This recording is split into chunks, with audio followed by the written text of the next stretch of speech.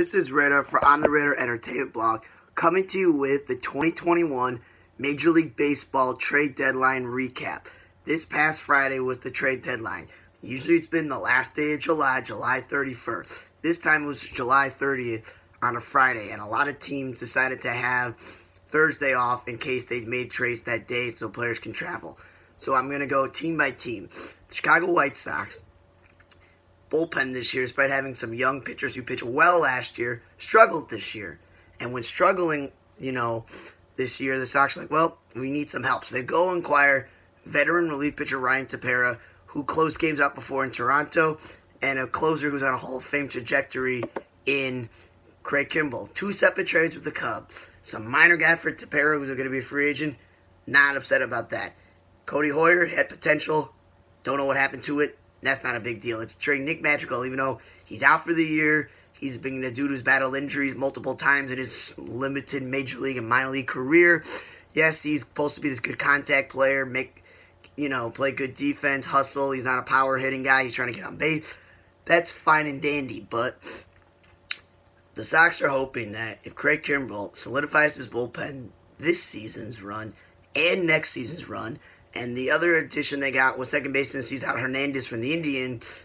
That that if he's on the team this year, Hernandez, and next year we pick up his option and he plays for us as well, and we have the likes of Mendick, Leury Garcia, Moncada can move back to second, and Jake Burger can play third base. They got potentials there. So it's wait and see with Nick Madrigal, but the Sox, I'm giving them an A minus because of the Madrigal trade, but they solved the two issues two veteran relievers who have been closers, obviously, this year and years before, went on a Hall of Fame trajectory, and a veteran second baseman who just won a Gold Glove last year and is always good at making contact, and he's perfectly suited to be the number two spot. So Sox is not playing Gavin Sheets, Andrew Vaughn, or Yoan Moncada second. That's where he's supposed to be. And little trade is they they got this Deivi Garland dude from the Red Sox so they can have some catching depth. That's not a big deal. So the Sox get an A minus because I'm not sure about the magical thing. And Cesar Hernandez, maybe they don't want to pick up his option and we have nobody. The Royals, they say goodbye to Danny Duffy and basically got squad douche for him, which is probably why it's because they probably took a while to do it. And at the same time, he's making a lot of money. He's not the most healthiest. So that's probably why. So it's like, I'd probably give him a D because the players they got for both Soler and Duffy, not so good. I was surprised they traded Soler. The dude almost dude was all-star caliber for a few seasons in Silver Slugger level, batting out with Nelson Cruz, who's the best DH. The fact that they traded him to the Braves, that's on the Braves, who don't have a DH.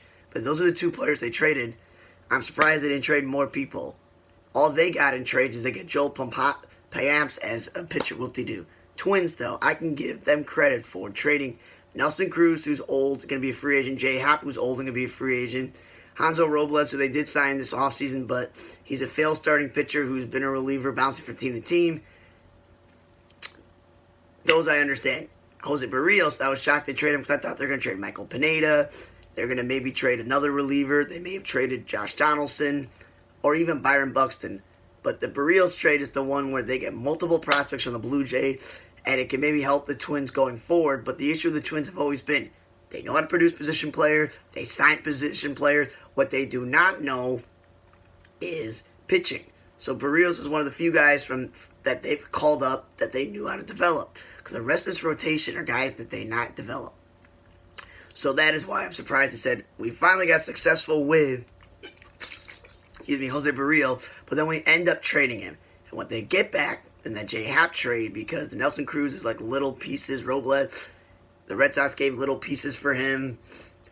The Cardinals give John Gant. John Gant has done everything you asked. Traded many times, started, spot started, swingman, long relief, middle relief. He's going to be value for them going forward because he's a controllable asset.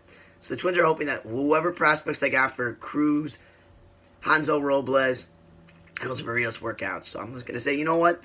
They get a B because they traded two old guys who are going to be free agents, a journeyman reliever, and their best pitcher, and they got process back. Not sure, I'm not a Keith Law expert, but that's pretty good the Indians. Every year for years since the World Series, they've been getting rid of players. So when they signed Eddie Rosario to a one-year deal, I knew they were probably going to get rid of him if they were out of the race. But he's injured right now, so they really didn't get that much back for him. Cesar Hernandez, the Sox gave something low and for them, not that big of a deal.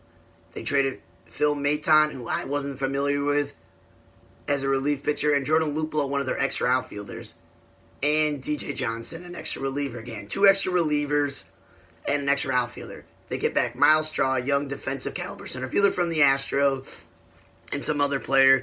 And they got Kung Fu Panda and the Eddie Rosario trade, but they just released him. So essentially, it was Rosario's hurt. He's gonna be free agent. We just want to get rid of him.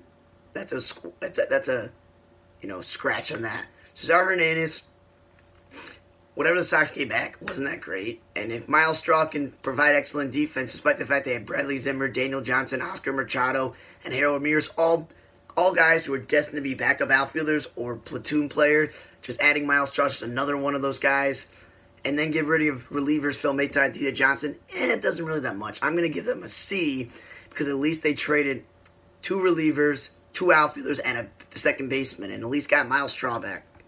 Tiger, I'm surprised they didn't trade Candelario. It didn't work out this year to trade Wilson Ramos. It didn't work out this year to trade Nomar Mazara. And it also did not work out for them to trade Matt Boyd because he was hurt. They didn't trade Michael Fulmer. They didn't play Soto or Jimenez or any other reliever. So all they did was we have Daniel Norris. He's been a starter. He's been an op- he's been the guy who come in the middle of the game after an opener and he's pitched more level situation. The Brewers have a good rotation, so he is not going to be starting for them. But as I said, starting pitcher experience helps them out. But the Tigers really didn't get that much back for him, so they were just saying goodbye because we don't need you anymore. So they get like a D because they didn't really do anything. Because I'm like, you trade one guy, you don't really do much. Then the Rays, who are in the playoff race, we already know they got Nelson Cruz. So that is a good move because that just gives them a consistent DH. Getting Jordan Luplow when they have Brett Phillips and so many outfielders is overkill. The DJ Johnson guy is a throwing reliever, whoop-de-doo. Orioles are not a great team, but they somehow managed to trade Shawn Armstrong. That gives them a thing. That's cool. So they get themselves two extra relief pitchers because, you know, Nick Anderson's been out for the year. They've had some injuries to the whole entire pitching staff. And Nelson Cruz solidifies the offense. What I don't understand is the Jordan Luplow thing when they have enough outfielders. And then this. They trade Rich Hill despite the fact that Tyler Glasnow's going to have Tommy John surgery. Chris Archer hasn't been healthy. Collin McHugh and Michael Wacha haven't been that great. And between Urinos and Yarbrough, one's recovering from Tommy John and one hasn't been that good. That why trade a veteran starting pitcher? So that bumps their grade down. And after trading Alvarado last year, they traded Diego Castillo when Nick Anderson's already out. So you trade a starting pitcher when you need starting pitching, and you trade a, closer reliever when you need relieving. So despite getting Nelson Cruz and two minor relief pitchers and another outfielder, they're getting a C minus because Cruz is good. Extra bullpen help is good because they went and got JT Chargois has been around the block. But three unknown relievers, an extra outfielder, and a 40 something year old DH and you give up Rich Hill and Castillo when you got pitching woes, that's like a C minus. You don't understand what you're doing. The Rays have too many position players, so that's why I'm like, eh, whatever. The Red Sox, they DFA Brandon Workman and basically gave a few little players from the to the Twins to get Hansel Robles. That may help, that may not help. I'm not sure because Matt Barnes is not the best closer, and their bullpen is not that amazing. So Robles hopefully helps. They get, get they get Kyle Schwarber, which again JD Martinez is a quality DH. That's obvious. They revamped their outfield with Hunter Renfroe in right field, calling up Duran the prospect in center, and have Alex Verdugo, and have been playing Kiki Hernandez or Marwin Gonzalez or Danny Santana super utility guys in the outfield, and it's worked out. And occasionally JD Martinez has played the outfield. So there's no room in the outfield for him, and if you do DH him, JD Martinez would take away bats from Verdugo or Hunter Renfroe or Duran. He's now going to, supposedly when he comes back from the injury, he's going to take away bats from Bobby Dalbec, who's had a promising season. It's one thing to get Rizzo, who they drafted originally, and he helps the stretch run because he's clutch. But this trade makes no sense. And then they get this pitcher that nobody's ever heard of from the Pirates named Austin Davis from Michael Chavis, who we all know that he's a third baseman. Devers plays there, he can't play there. Bobby Dalbec is taking over the first base job, and he can't really feel the second base. But he's got this potential offensively and the Red Sox just kind of gave up on him for nobody pitcher from the Pirates. Giving up when you get pitchers from the Pirates, has to be top quality pitchers for it to matter. So I don't understand the Schwarber trade. I don't understand trading Michael Chavis. Hansel Robles helps, but then you say goodbye to Brandon Workman and DFAing him and stuff. So reality wise, the Red Sox get like a C because you say they get a veteran relief pitcher, a veteran slugger, and an extra pitcher. But none of these moves are amazing. They didn't get an impact reliever, an impact closer, nothing. No impact starting pitcher, nothing. That's where I am like, eh. And then you get yourself to the Yankees where they say goodbye to Luis Cessa, who didn't make the rotation, so he's been a reliever. Say goodbye to lefty specialist Justin Wilson, and I'm thinking to myself, like, okay, Yankees, you've had injuries to your rotation with Kluber, Severino, you name it. Would you think maybe putting Luis Cessa or Losaya back in the rotation would be helpful? No. Trade Luis Cessa and Justin Wilson the same trade, get nothing back for them, and your bullpen hasn't been the most healthiest either, so why would you give up Justin Wilson? They could say, well, we got Clay Holmes from the Pirates and Joely Rodriguez from the Rangers, so they'll take those two guys' spots. Okay, swapping the checks, the, the ch- deck chairs. Whoop de doo. It's actually a game with Pirates pitcher. Joely Rodriguez, Rangers pitcher, I don't trust that. Then they go and get Andrew Heaney, which you know Heaney has been that good this year, but he's been the best Angels pitcher, not named Ohtani, over the last couple of years. That is very helpful. Andrew Heaney will help them until Kluber comes back and Germán comes back to give them a guy to put in the third spot. Maybe Severino comes back. So that's why I'm like, that's a good trade. But then they get Joey Gallo with Joely Rodriguez and they give up prospects. When, hello, you got Mike Stanton, Giancarlo Stanton is DH who can't stay healthy and play the outfield. You still got Brett Gardner. Clint Frazier's going to come back, so it's not a big deal. And yeah, you're playing this young guy, Florial, and you've been training Greg Allen. You're like, okay, we even play Tyler Wade in the outfield and Miguel Andujar. We need an outfielder. But you probably should have got an outfielder who can either play center field, so Gardner doesn't have to, and you don't have to waste offensively with Greg Allen and Florial, or get yourself a guy who can play outfield every day. Maybe. Joey Gallo, he's turned himself into above average corner outfielder, not a center fielder, and Aaron Judge is not a center fielder, so I don't want to see Judge playing center field or Gallo. You got too many sluggers in your lineup, which makes no sense. You go like, okay, maybe I play Joe Gallo first base. Nope, you got Luke Voit. That made no sense. He led the American League in home runs last year and has been a pretty good hitter. Then they go get Anthony Rizzo, most likely to get, say, to the Red Sox. You can't get him, but again, Stanton, Judge, Gary Sanchez, Gleyber Torres, and then you go and you add Gallo, and now you add Rizzo, and you got Luke Voit. Are you going to play Rizzo first base, DH Luke Voit? Put Joey Gallo and and uh, Aaron Judge and staying in the outfield? That would be one of the worst defensive outfielders and just way too stupid. So, overkill on Gallo, even though he's under control, so it's not a big deal. Overkill on Rizzo swapping out veteran reliever and a potential starting pitcher for two nobody relievers and getting Heaney. Heaney's the only saving thing. Heaney gives them a B minus because Joey Gallo and Rizzo make the lineup better. Heaney makes rotation better, but overkill on those two guys. I, I, I just don't get it. I have to give them a good grade because Gallo and Rizzo are quality players, but they just don't fit. That's why it's not an A it's not a B. It's a B minus because it's not like a C or D because they actually got good players. And the Orioles, they said goodbye to Freddie Galvis. They didn't need him. I knew it was just a stop holder gap. And then Shawn Armstrong. And I'm like, okay. Orioles were able to get something back for a no-name reliever. Cool.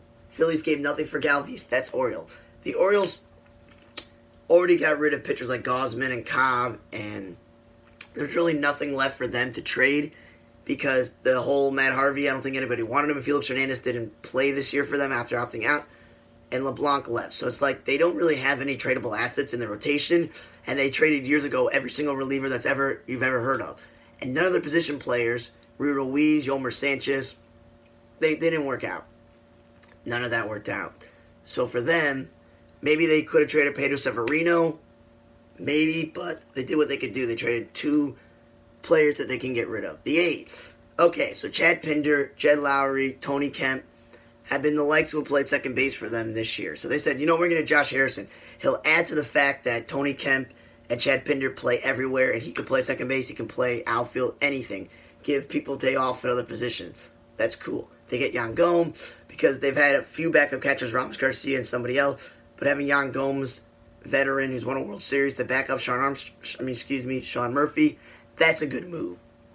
They help you out for now with veteran presence. They get Andrew Chafin, because losing Trevor Rosenthal this year and being injured and not having all those veteran relievers you want because they've already, you know, they have they have Sergio Romo and they made this this Trivino guy their closer. They lost Hendriks in the offseason, so and Soria in the offseason. So Andrew Chafin will help in the middle relief, so that's that's a positive. as I said, getting Josh Harrison and Yan Gomes, that's positives there for the team. They got Starling Marte. I'm like, okay, cool. Starling Marte will solidify right field. Piscotty's just been eh, you know. He'll help out in the lineup so that you the two Mats, Mitch Moreland, can have some offensive help in the middle of the lineup. I'm like, cool. The thing that I don't understand is the A's have been playing him in center field and batting him second. You got him to be a middle the order bat. Secret there. He came up with the Pirates. He was playing right field because of Andrew McCutchen. The season that McCutchen moved to the out to right field, he and he played center. He barely played center field for the Pirates. It was then he went to the Diamondbacks, played center field briefly there. Then went to the Marlins. So he's not a world class center fielder. He's battled injuries. He's been busted for PED. Please play him in right field because Ramon Laureano could have won a Gold Glove last year. He could have won a Gold Glove the year before. He has to figure out offensively, but if you had him defensively in center field, Marte in right field, you can withstand Mark Canha playing left field, our super utility player playing the playing the outfield. That's cool. That's cool. That's cool. But then they gave up Jesus Luzardo, who I thought was supposed to be an important part of this rotation going forward. But I guess not. So the Marlins now get another top pitching phenom like they've done in trades before. That's cool for them. But at the same time, so Josh Harrison, Yan Gomes, Andrew Chafin, Starling Marte, four players that can help you out. But the trading of Jesus Luzardo is the thing that I don't understand. So I'm going to give them a B because you got a veteran second baseman an alter team. You got a veteran catcher to help out your young catcher. You got a quality outfielder Starling Marte and a quality veteran reliever named Chafin. So that's a B. The reason it's not an A or a B plus is trading Jesus Luzardo and the continued play Starling Marte in right field and bat, I mean center field and bat him second. Astro, Kendall Graveman, Rafael Montero, Phil Maton, Yimi Garcia. They basically said we just had Ryan Pressly, Joe Smith has always been hurt, and and and Ryan Stanek and and Alvar, Ryan Stanek who they got pretty much what has happened with the Astros is every veteran relief pitcher that they have in their bullpen has missed some time this year to injuries. And uh, that is why they said we need to start over from scratch and we need to do this. We need to go ahead and get guys because Pedro Baez is hurt. And uh, they said Ryan Pressly was hurt, Ryan Stanek was hurt. And they're like, we just need to. Uh, to move on and get somebody. So by them getting shuffling the deck here and them getting Kendall Graveman, who is good for the Seattle, Rafael Montero, who like Hansel Robles, the journeyman starting pitcher, became a reliever. Phil Maton from the Indians, who nobody's really heard of, Yimi Garcia, who was on the Dodgers but on the Marlins this year. So you got yourself four relief pitchers to hopefully help Ryan Pressly with the bullpen. And all you got to do is give up Joe Smith, never healthy veteran reliever, Austin Pruitt, who, you know, you don't really need. Another pitcher that gave up as well. Myles Straw, who was a backup outfielder, but I feel like the Astros can call up anybody from their system to really be their fourth outfielder. And Abraham Toro, who plays when Bregman's hurt and occasionally plays first base, who's just another corner infielder. So they get extra outfielder, extra infielder, a couple of no-name pitchers, and Joe Smith. I feel like they get a B because they supposedly improve their bullpen. They think by getting four pitchers, trading a few pitchers away, and trading away Straw and Toro, when they don't really need. So the reason why it's a B is because Graveman, Montero, Maton, Yimi Garcia, they're not high quality players. They're just okay pieces, and two of them, like Montero and Graveman, are failed starting pitchers or injury prone starters who became relievers. So it's a B because they did what they wanted to was improve their bullpen because that was an issue going forward. I don't like them trading Myles Straw because he's been valuable, but still. And then the Mariners. They got Diego Castillo, which again, I don't know what the Rays did, and that's a quality relief pitcher. Joe Smith, as a veteran, that helps them out. And Abram Toro just adds to the Ty France playing out of position because they're both third basemen. You got Kyle Seager. The continuation of Bowers and Shed Long playing the outfield. If you play Ty France or Toro at second base, and they're not second basemen.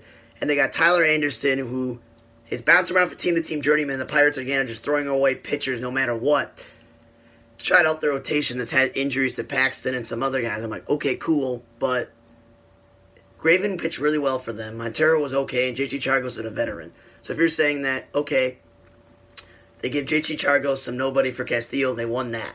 They get Toro and Joe Smith just for trading Graveman and Montero, that's a plus. Getting Tyler Anderson, I don't know what they give up. So they get a B because of how good of a relief pitcher Diego Castillo is. That's quality. That guy can be a closer on any team. The reason it's not an amazing trade is because Kendall Graveman was doing so well. Why trade him for Joe Smith, who's never been healthy, and Abraham Toro, who himself is another third baseman who have nowhere to play on this team. And Tyler Anderson, I don't really trust the Pirates and journeyman pitcher. So it's a B because Diego Castillo is that good. It's the Toro fit, the Joe Smith, but then giving up Kendall Graveman, who had a good season this year, and then getting Tyler Anderson, whoop-de-doo. Then the Angels. They said goodbye to Andrew Heaney, so they traded one to start. I thought they try to trade Cobb. I thought they tried to trade Quintana. So, something more. They traded Tony Watson. I thought they tried to trade Claudio Chiswick. Any single other reliever they possibly could, and they got rid of Dylan Peters. So they only traded one starter and one reliever, so that's why it's a C. Because I don't really know in the end what really the Yankees are going to give that's worth quality for Andrew Heaney when they gave quality for Rizzo and they gave quality for Gallo. That's where I'm like, okay, so what left over for the Angels and Watson? The Giants are not going to give that much because they just had him last year. So there's that. The Angels, as I get a C. They traded one starter, one re- one reliever that you heard of, and some extra pitcher. Then the Rangers, as I close out the American League version because I don't want these to go too long. Kyle Gibson I knew at some point they're going to trade him. I'm surprised they didn't trade Jordan Lyles, but they traded Kyle Gibson and Ian Kennedy to the Phillies. And they got Spencer Howard and some players back. So hopefully Spencer Howard and those players help them out to build their team going forward by swapping in a veteran starting pitcher who's back, more of a back end starter, Ian Kennedy, who I still thought the last two seasons the Royals should have played him in the rotation when they needed pitching, and same thing with the Rangers. But the, the Phillies bullpen have been so bad, and Kennedy's been okay as a relief pitcher for the Royals and the Rangers. That helps them out there. Getting rid of Joely Rodriguez just to throw in Joey Gallo. I thought he was going to stay there for a while because he said, I can't play third base, Adrian Beltre. They made him play center field. He's not a center fielder. Never gave him a chance to be the first baseman or DH. He's gone. So that's why I'm giving them a C because they didn't need to trade Joey Gallo. Not sure what prospects they're getting back for him. Same thing with Kenny Gibson. You don't know which of these prospects, or even Spencer Howard, are going to be good. That's why it's a C, C plus. C plus is prospects for Gallo, prospects for Gibson, Ian Kennedy, and Joely Ramirez are just throwing. And Spencer Howard's supposed to be a good player. So that's why it's like a C plus, because there was no need to trade Gallo. You're not sure what the Yankees give gave you, nor the Phillies gave you that's overall going to be good because you gave up four players who were important to your team just for a bunch of prospects because I thought they could have done more. Traded Jordan Lyle. They could have traded every single relief pitcher they had. Maybe traded David Dahl. The Chris Davis thing didn't work out. They could have traded Brock Holt. They should have traded uh, Charlie Culberson. Something like that, but they did not. Thank you for listening to MLB Trade Deadline 2021 for the baseball season. For On the Radio Tab Blog That was the American League. You're going to get the National League on the next video.